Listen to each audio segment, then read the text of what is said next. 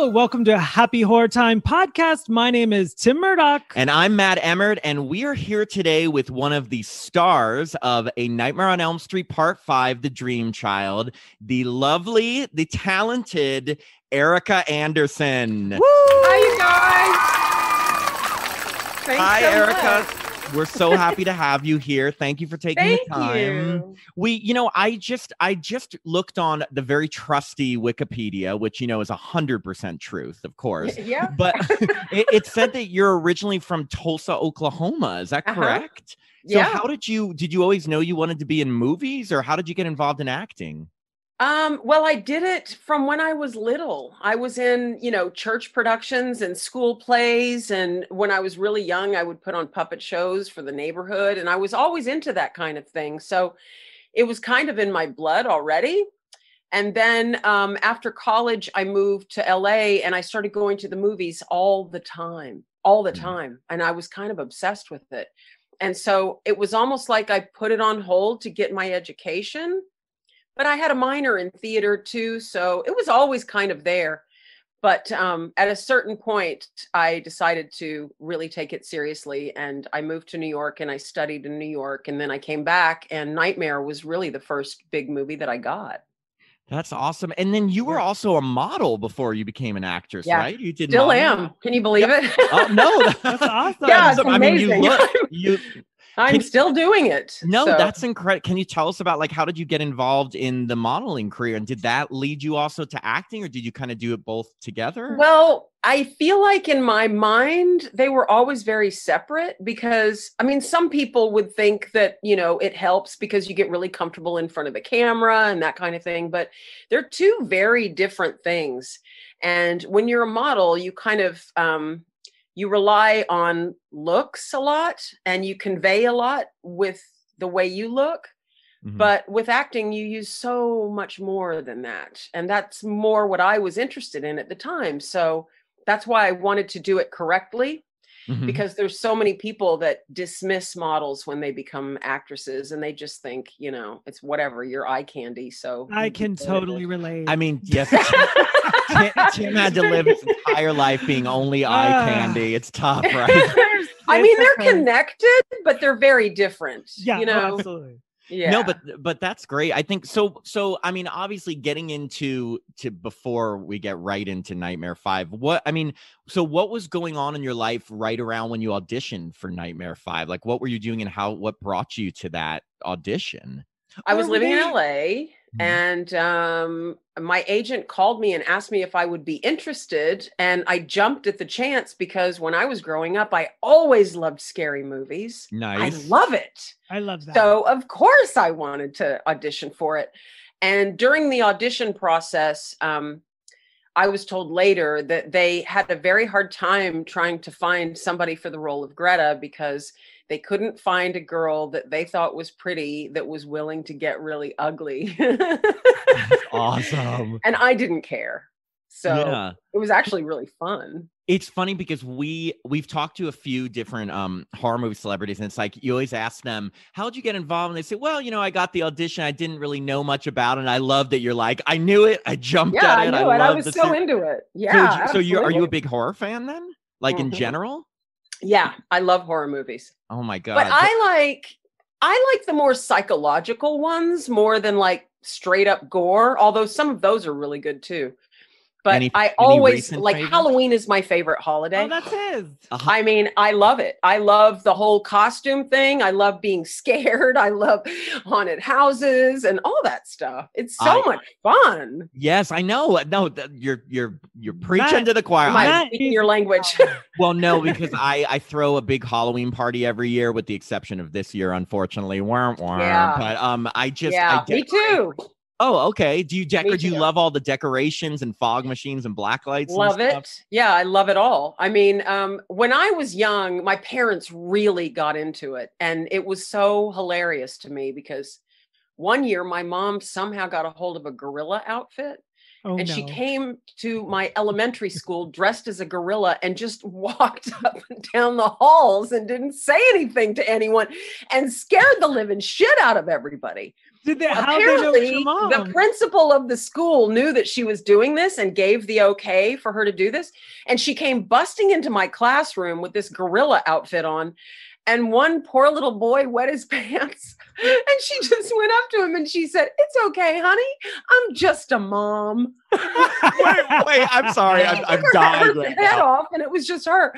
But they got really into it. They would hide behind the house, and kids would come up, you know, to ring the doorbell for trick or treat, and she'd come up behind them and scare the shit out of them. Wait, wait. Played Okay, so, that Walt Disney's thrilling, chilling sounds of the haunted house, and we'd crank the volume so when people came up to the front door, they would hear that. Have you ever heard that record? I feel like I have. I mean, you must have. Uh, yeah, I mean, it's got to be something that that.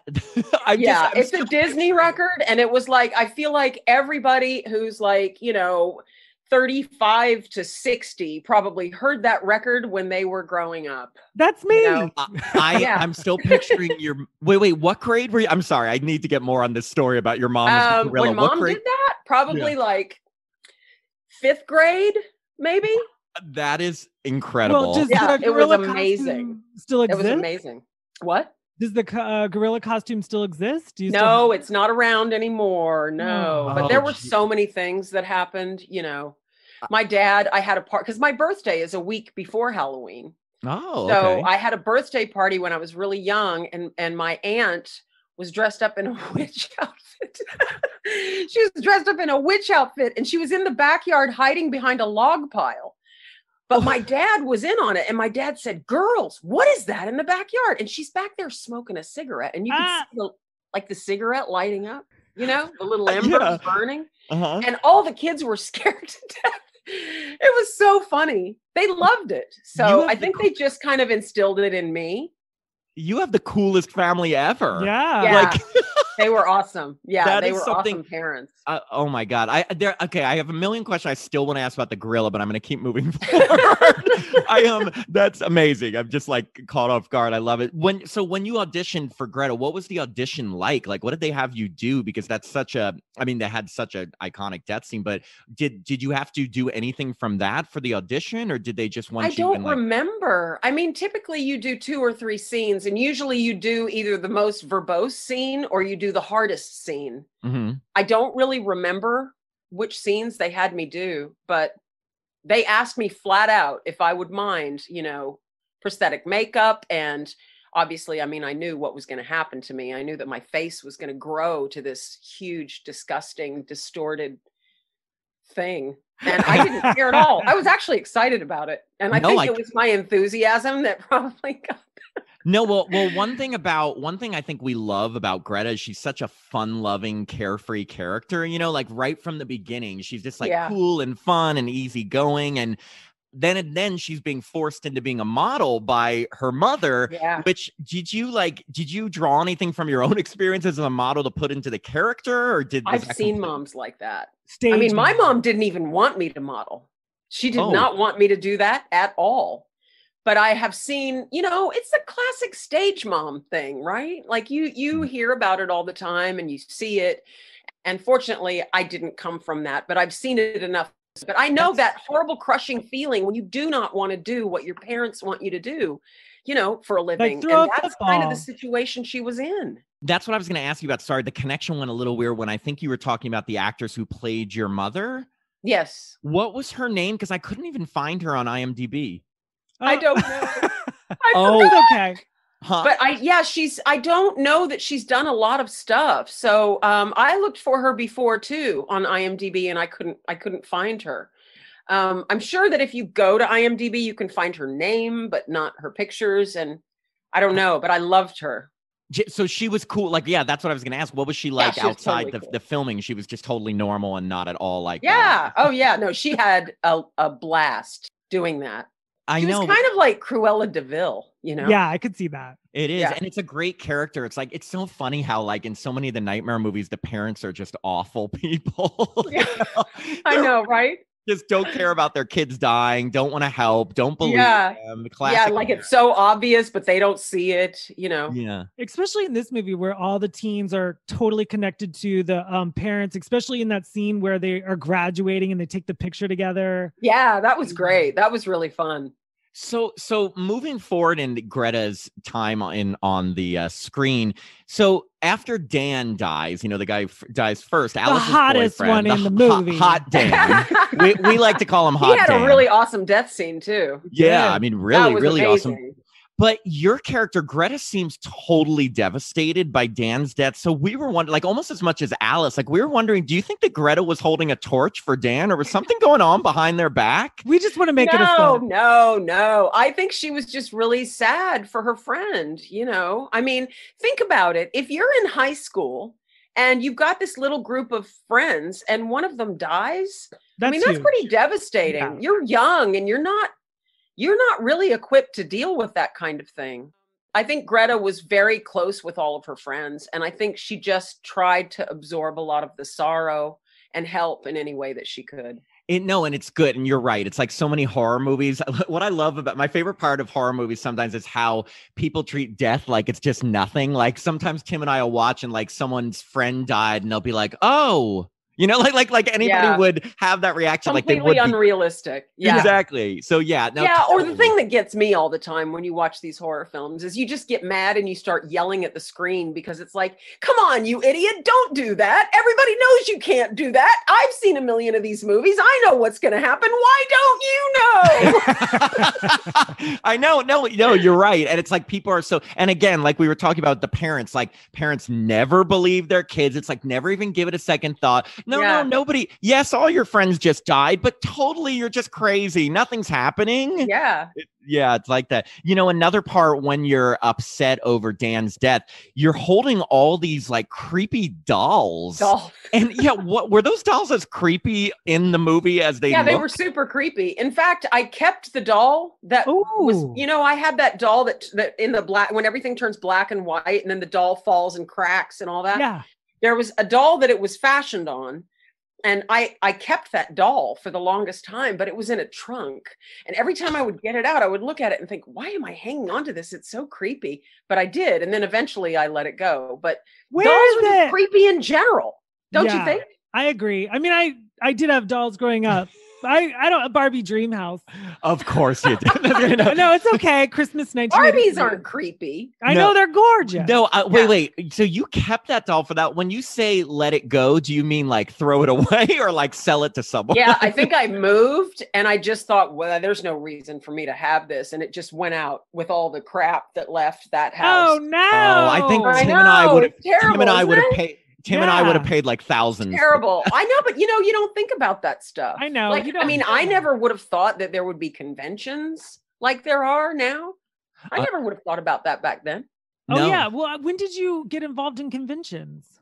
That's uh Mikey. How, how did I mean, like tell us the, the Mikey story? I met him at a convention. I did one convention. I think it was in um it was in Texas. And they they decided to get the whole cast together from Nightmare on Elm Street and we all kind of did it together and it, it was before they were packaging movie by movie. So they had like Jennifer Rubin was there and she was a friend of mine from back when. She's And a so, dream um, warrior. What? She's the the dream, Dream warrior. Warrior. Yeah. she um she and a bunch of other people were doing that convention and so I got reunited with a lot of the people that I knew and I met a lot of the people that I hadn't met that were also in the franchise and Mikey was there that weekend. and That's we started talking and um he started putting together things and so I did a lot more of them. No, that's so cool, especially for like people like us who are Yeah. fans, We're like to know. yeah, it's no, but really what- fun. It's a peop- fun weekend to do. And also just like that you embrace that, you know what I mean, and want to be there because the fans care so much about these Yeah. movies, obviously, and so. well, that's why it's so are. thrilling, you know? Yeah. I mean, it's it's weird for me because lots of times um the fans know my dialogue like better than I remember it. Like because I haven't thought about it in so long. You mean the uh, obsession brushing your on teeth for the paparazzi? That one I know because I That's good. No, um, um, so, um, back to w- with the film, like the production. I've heard, and I know we've watched, you know, like Never Sleep Again, and and the documentary that the production on it was so rushed that literally, like, the script was being written and rewritten as you were filming. Was it total like chaos on the set, or was that did not? that no. Um, I mean that's that's how soap operas are. I hear. You know, I mean, you're handed your script the morning of, and they are constantly making changes. And I think that happens, you know, in certain films too. You know, if there's a problem and they have to do a rewrite, and if something's not working, um, you just have to be really on your toes and be able to handle that and sort of roll with the punches. It was not chaos ever, not That's at all. cool. And it was al- so it was always just like a fun environment while you were Yeah. doing it, even though no really that's fun cool. environment. The only thing that was a bit of a drag um, was the prosthetics. You know, were so long and involved, and I think it was something crazy like three and a half hours to do my makeup. Oh makeup, gosh. Oh. and it was in different stages. And um, once the makeup's on, you're in it, so it's a little difficult. How did you eat lunch that function. day? It was gross. well Believe it or that's well that's like getting to that scene that's a big question I wanted to ask you about i mean obviously yeah, your like you're death- limited. I'll just say you're limited on what you can eat because it's, you know, the prosthetic itself comes out to about here. So there's like this sort of Tunnel. Yeah. Yeah. So you basically are supposed to eat drink through a straw. But um, as you can imagine, when you're on set for like 10 hours, you get a little hungry. Yeah. And after you do that for a day or two, it's like, okay, I don't want to do this anymore. And um, I remember one day we were served spaghetti for lunch. Oh no. yeah Oh yeah, it it collected in that thing. It was just in there, and I'm under the hot lights, and it smelled, and it was nasty, and yeah, it was not fun. And you know, here's the other thing: you wrap, and everybody gets to leave, but not me because I've got to take off all this stuff.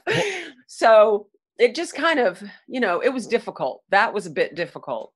That- But I the mean, guy who designed the makeup, Todd Masters, was so fun. He was really fun to work with, and we're still friends now. And so, you know, I think everybody made the best of it.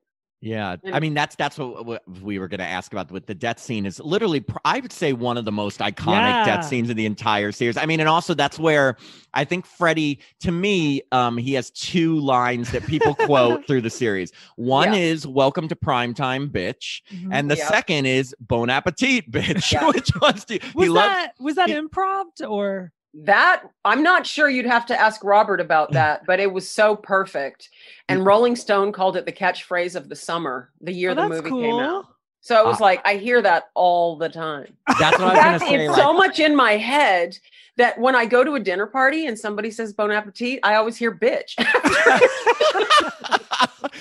funny that like, but Freddy, like, literally, his two most iconic lines has to have "bitch" on the end. you know? Yeah. Good, good old Freddy. What What was Robert Englund like working with, like, especially in that scene? Oh, he was super fun. He was really fun. He was great. And We've heard he's a big Not, you know, storyteller. I think sometimes, you know, you would be intimidated by someone like him because A, he's in that crazy costume and he's also really the star of the franchise. So um, I think a lot of people might be intimidated, but he was always super friendly and super down to earth. And, you know, he hung out with us and really easy to talk to. And, you know, it was great.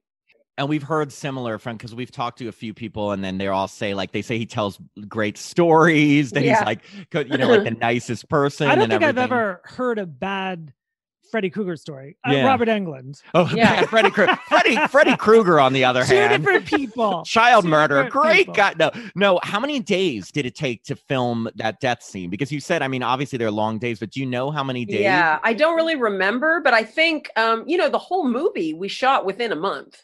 That's Oh. So, crazy. Everything was kind of, and yeah. it's not CGI. It's it's practical No, effects. thank God.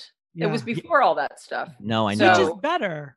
And and Yeah. so another thing that is that that scene is known for is that apparently the mpaa cut out a lot of parts Yeah. do you know like are there i don't know if you know the specifics of it but like do you know stuff that we what we didn't get to see like i've heard things about like that he's feeding you like your insides or something Yeah.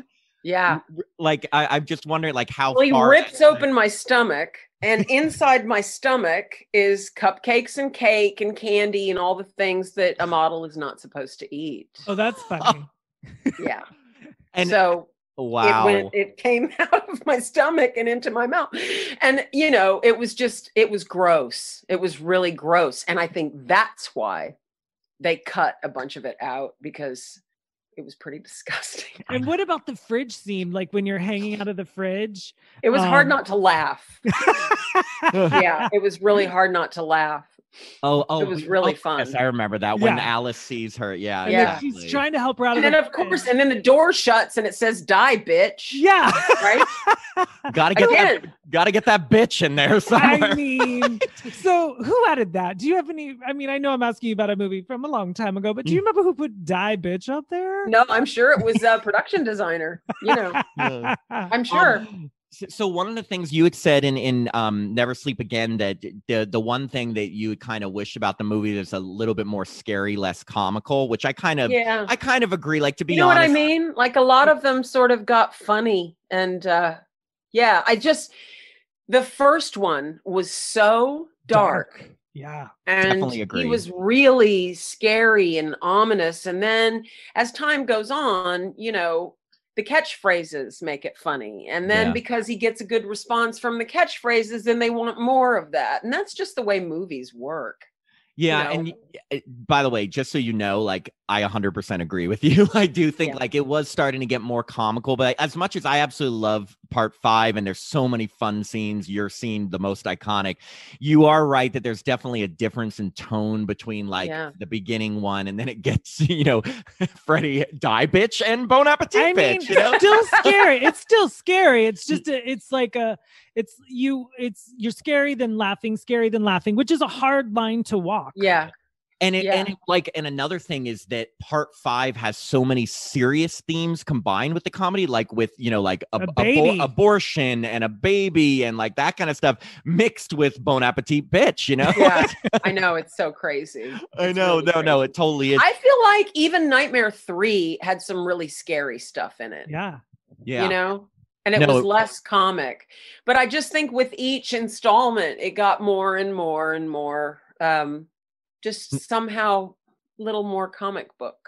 Yeah, Yeah. No, you're right. You're right. So when the filming was done after that mm, very rushed month, um, was there a premiere? Yeah. for Was it? there a red Yeah. carpet? This is my Yeah. favorite question. It was my first red carpet and it was at the Chinese theater. awesome. and um and we all went together and it was really really fun i i got to bring um a lot of friends of mine and you know obviously they'd never been to a movie premiere it was my first premiere but i, I remember i went out and bought this really fancy dress and um, we were all really excited about it and just like kind of all sitting there sort of holding hands when the movie started and that feeling that you get when you've never seen anything because we didn't go to dailies we didn't do that to see it for the first time was pretty spectacular on That's a so- giant screen Yeah, because the Chinese is a giant seats? theater. Yeah. Yeah, love it was really great. That that's like the best answer that I want to hear. It's like because I I feel like no because like we think of these movies, we absolutely love these movies, and that's what I wanted to know about the feeling of like the first time seeing it on Yeah. the big screen. And when did you become aware of all the fandom behind the series, or did you know before? Because Oh, I knew about it before because Okay. I was a fan. Yeah. you know, um, yeah, I knew about it before, but I think it's grown, you know, over Thanks time. internet, like each yeah. one, it grows and it grows and it grows. And now you've got little kids that are into it, even though it's an older movie, there's kids that are super into it. And there's fans that are older, there's fans that are young now. And you see that when you go to the conventions. When I do a convention, my cheeks hurt from smiling so much because everybody is so kind and they're so sweet and it's just so nice to meet them and it kind of validates, you know, what you're doing and why you do this. That that's awesome. Yeah. For I Yeah. mean, like seriously, just want to say thank you for saying that because it does it it it and it valid and it makes us as fans feel great to see these people that we you know idolize because they're in these movies we love to be Yeah. so appreciative for these opportunities and to look back on it with such fond memories. You know, I mean, j- eh, what's funny is that so that was even though it was you knew there was fandom behind it. Did you think? 31 years later now it's No. been that people would still be talking I really didn't. I kind of thought, you know, I mean, and at the time they weren't that old, right? Like I was in Mhm. five, it wasn't that old. When did the first one come out? Like 84. 85, 84. Okay. Yeah. Um, yeah, so this is like four or five years later. So but you're like in the be- I mean, like you're in the the. I always think the first five are the best. Like you're, it's the 1989. Like there's no CGI. It's all practical effects. Like yeah, it's like you have a hot young cast. Like I think it's so you're like in such an iconic series. Yeah, it is. I like that Yeah, hot I'm- young I'm cast. You listen, it's the truth. I'm so grateful to be a part of all of that because Yeah. you know, I don't I don't really do that much acting anymore. So Mhm. just to know that something that I did that long ago is still resonating is just kind of amazing. It's a legacy. It Yeah, really it is. is. It's a legacy. Yeah. Like everyone has different legacies, and it's just it is cool to be a part of that. Do you keep in touch with any of the cast or crew members in the from the film, or Um, well, I live in New York now, so they're all on the West Coast, and I don't I don't really see them. But when I do, it's like we pick up right where we left off. That's you know, so cool. and we still have the same kind of like relationships. Like I did a convention, Joe Seely was there, and Oh. it was like we were best friends all over again. You know what I mean? Mhm. So you kind of just immediately go back to it. You must have friends like that that you don't see all the time, but as Oh. soon as you see them, it's like you never missed a day. You know. yeah, and it's almost like you know, it's like I have friends from like a theater group I was in, and it's like you start talking about that like it was yesterday. Nerd. Yeah, nerd. No, I have nerd. friend- No, but you know what I mean. Like I, I feel like it's like when you have that common memory, you can always go back, and there's always stories and inside jokes. and plus, I mean, you, I mean, going through because you know makeup for the the long hours and everything you went through something that no one else like matt and i haven't done that so it's like you always have that bond does take me a few hours to do my hair. well you look terrible just kidding I'm kidding. well then then so the, the mo when you're at the conventions what's the most common thing people say to you or ask you is it the bon appetit bitch line or what is the most No, it's gnash my teeth for the paparazzi. i love it I love it. oh that That's is great one. and yeah, this is that one. Being Followed by. Bon Appetit bitch. You know, also it's like maybe they don't want to be disrespectful, so they don't want to come right up and say Bon Appetit bitch. It's easier to say gnash your teeth, right? Yeah. So that seems to be the one. your hair in the pool scene the ponytail looks so good but fyi Thank you. It is the Yeah, that's cutest really pony. nice. yeah um so, you know obviously you've done a lot of other things in your career and i know we're touching mostly on nightmare 5 but the one thing i did want to ask you about because i'm a huge huge fan of it was twin peaks and Oh, yeah. obviously you know you were on it was like the show within the show of twin peaks it was the soap opera invitation to love Yeah. and i just wanted to like how did you get it first off yeah i absolutely grew up um loving loving twin peaks Oh, and me um, too. I thought yeah. it was one of the best things I'd ever seen on television. yeah Same. uh, how did You you, know? get involved with twin peaks and what was it like working with david lynch and mark frost Um, I got involved because I auditioned for it. uh-huh So that was it. Um, Mhm. And I didn't really get to work with David when we shot Invitation to Love. He was supposed to direct it, but he was working on Wild at Heart with Nicolas Cage, and they were behind. So he got stuck, work stuck. I shouldn't even say that, but he ended up doing that. So Mark stepped in and directed our stuff, and um, it was such a great. It was so weird. First of Yeah. all, like I'm playing twins, and they could not be more opposite. yeah Um, but we shot in that beautiful Frank Lloyd Wright house, you know, in LA. And it was just, it was a really, really great day. And I think because the script was really almost plain, you Mhm. know, um, we started having fun with it and we kind of started to improv a little bit and we made it fun. And we were doing a lot of things that weren't in the script. And Mark really liked that. But I ran into David at a party after, and he, um, I don't think he really, that's not what he wanted us to do. Really wait what what did he That's want not really what he wanted us to do. I think he wanted us to play it straight. Hmm. oh well know, i love like the like I'm stroking Chet, and then Mhm. I look at the I look at my hand because he's got all that goop in his hair, like that kind of thing. That those are the little things that we did that were really silly, Mm-hmm. but I don't think it really worked for him. And I was It's- really sad about that. That's so funny because it's like, well, first, it is so over the top, which I love, but it's like Twin Peaks is such a weird, like, like I, I can't. I, it's so funny to hear like that someone said like, no, that's too much when it comes to Twin. I know, Peaks. right? I feel like anything goes. Yeah, It, yeah. Well, and you know, for an actor, it's fun to just like stretch a little bit and improv and do what you want to do and see how it goes. And if it works, you kind of keep doing it. And um, we had a blast that day. Everybody was really fun. We had a blast doing it. And it was all pretty silly anyway. Um, and as you know, it's a soap opera within a soap opera, and it's supposed to kind of um, sort of show what might happen in the series before it happens. So I'm twins, and then you find out that Laura Palmer's twin cousin Maddie is Right. in Yeah. With dark hair. So it's that dark hair and glasses. That's right. Yeah, exactly. Yeah, was but it? we, we had a great time doing that. It was really fun. I just wish, I mean, for the series, I, I wish it would have continued on, but it, you know, near the end, it started to get a little too fantastical, and I understand. Yeah, did you Um, watch? Did you watch the reboot or whatever? I that did. Came? Yeah, I did. I, did. did too. I um, I liked all the cameos, but I just don't think it holds a candle to the original. I was gonna wait for you to say that first. Yeah, I just think the OG was so much better. It was, and also I um yeah I remember because I was like only maybe ten when Twin Peaks came out, but and I- Oh and my sometimes I- god! Well, and you watched it at ten? that's what that's what I'm saying. Sometimes I look back and I think like, was I old enough to be able to like? because Yeah. there was some creepy ass shit in that. No, Twin super I, I, creepy. didn't, I didn't watch it until five years later when I was like a junior in high school with, on video. Yeah. Uh huh. well, Uh-huh. no, but uh, but it is funny because um, it, like, but I I just think I was glad I was so excited for the reboot.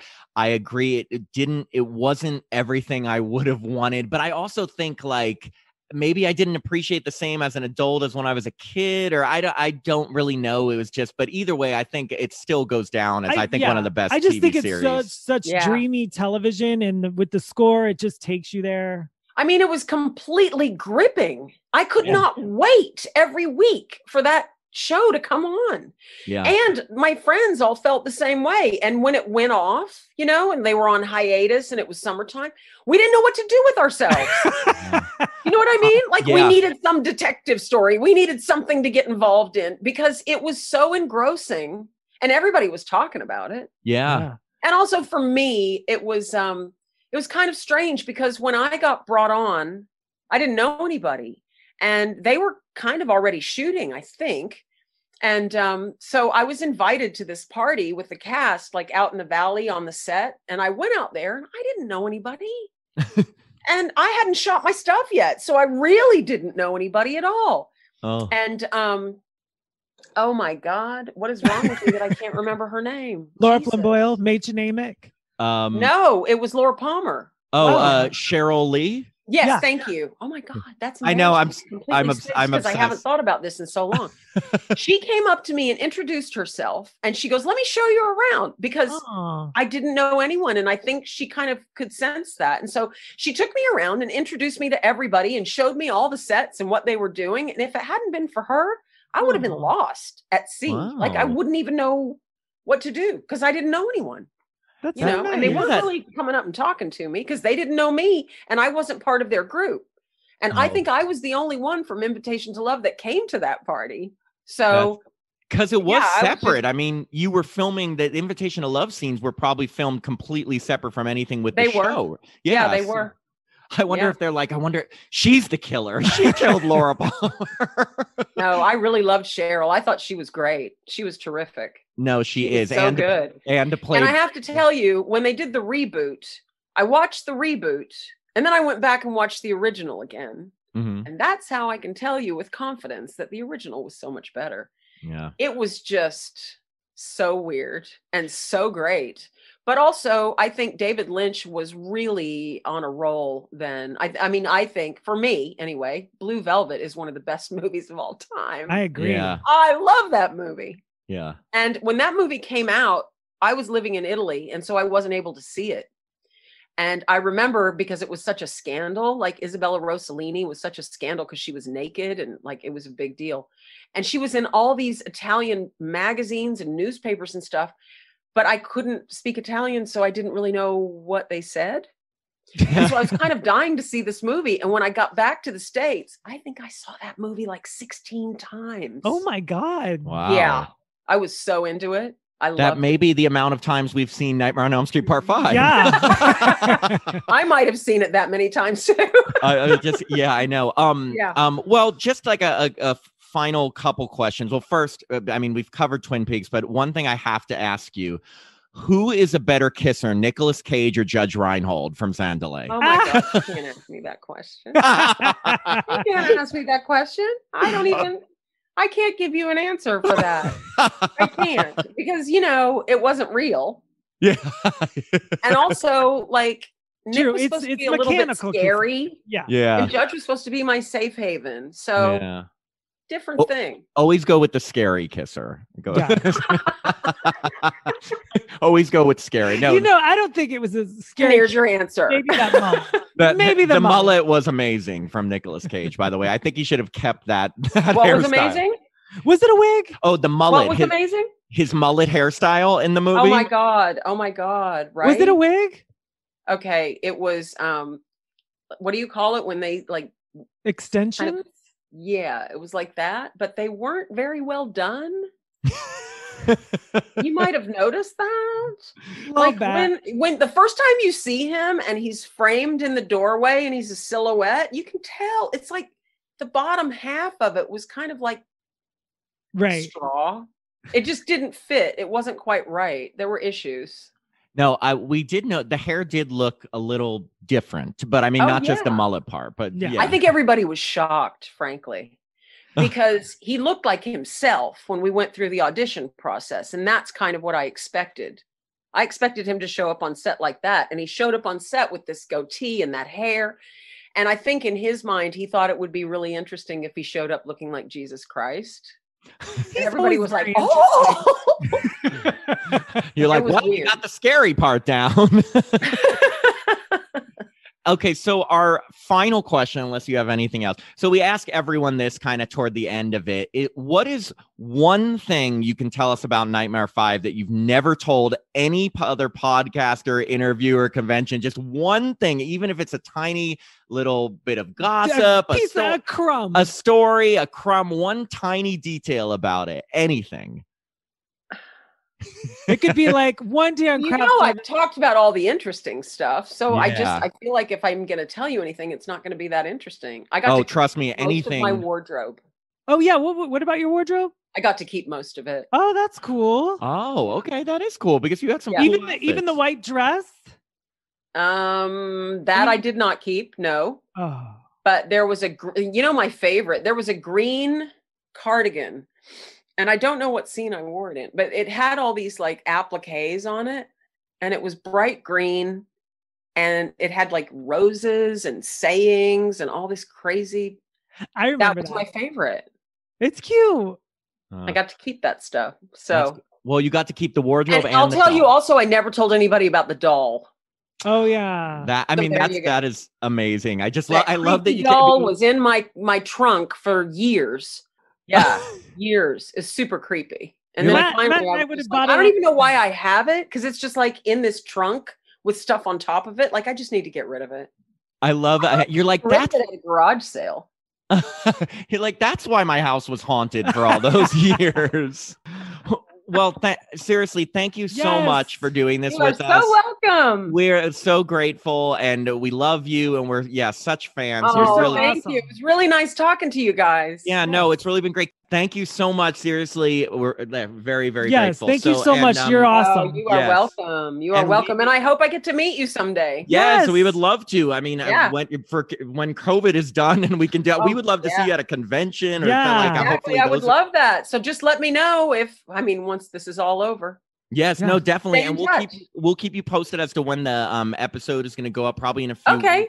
Weeks. And uh, yeah, thank you so much. You were awesome. Your stories are amazing. It's Yeah. great. Seriously. Thank you. Okay, Thank well, take Bye, care. guys. Have a have a good day. Talk Okay. Bye. Bye. We hope you enjoyed this episode of Happy Horror Time. We are so happy you've taken the time to check out our podcast. This podcast is hosted by Matt Emmer and myself, Tim Murdoch. It's co-produced by Jacob Randall. You can find Happy Horror Time on Apple Podcasts, Spotify, Pandora, Happy TV, and many other streaming platforms. If you'd like to stay updated, please like and follow Happy Horror Time podcast page on Facebook. You can also follow us on Instagram and Twitter at Happy Horror Time. And if you'd like to contact us, send us an email at happyhorrortime at gmail.com. We'd love to hear your thoughts, your movie recommendations, and any horror celebrities you'd like us to interview. To support the podcast, please visit patreon.com slash happy and sign up to be a patron. That'll give you access to our growing library of bonus episodes. Our goal is to release at least one bonus episode per month. Before we go, we'd like to recommend a podcast hosted by our co producer, Jacob Randall. It's a true crime podcast called Crime of Your Life, in which Jacob takes a look at unsolved criminal cases and other mysteries while examining the true crime genre itself. It's incredibly engaging, and we definitely recommend it. I'm Tim Murdoch. And I'm Matt Emmert, and thanks, Thanks again, again for listening to Happy Horror Horror Time. Time.